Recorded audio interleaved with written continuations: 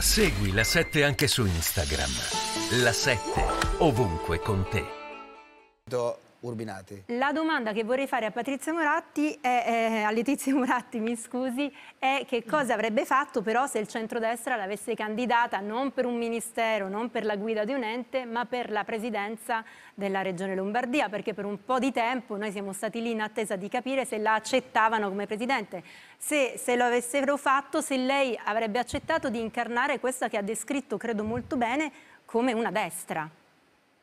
Guardi, allora intanto volevo però dire un, uh, ritornare su un punto che lei ha, ha, ha, evidenziato che mi sembra importante, perché io credo che eh, lei ha um, parlato di una uh, PD che in questo momento rischierebbe di essere diviso su una mia candidatura.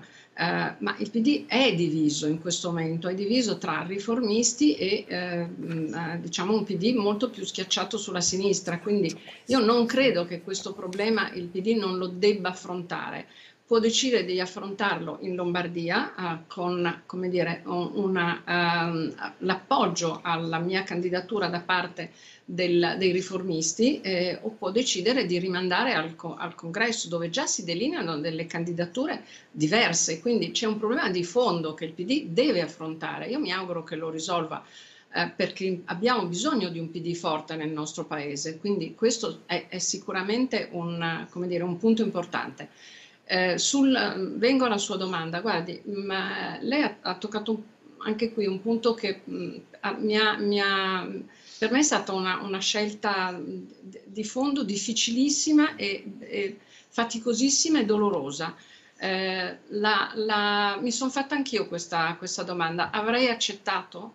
E me la sono fatta davvero per, per, per, per tanto tempo, ma la, la, mia risposta è no, perché davvero in questa destra-centro non mi ritrovo. Ed è per quello che sto cercando comunque di continuare a tenere aperto un, un dialogo con, con, il PD.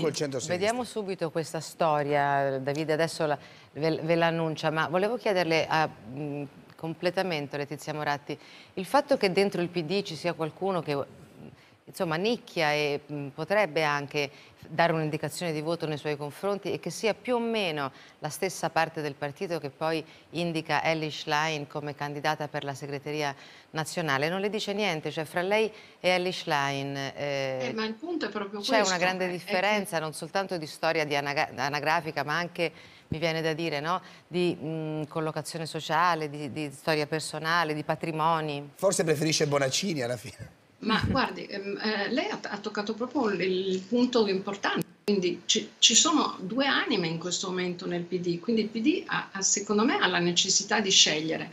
Poi io mm, direi anche un'altra cosa, che io credo che eh, ci, ci, si debbano, in un momento così critico per il Paese, in un momento in cui ci misuriamo, dopo una pandemia che non è ancora finita, nonostante queste posizioni lassiste del governo, la pandemia non è finita, ci misuriamo con una guerra che è alle porte dell'Europa, ci misuriamo con un caro energia che pesa sulla vita delle famiglie, delle, delle, delle piccole e medie imprese.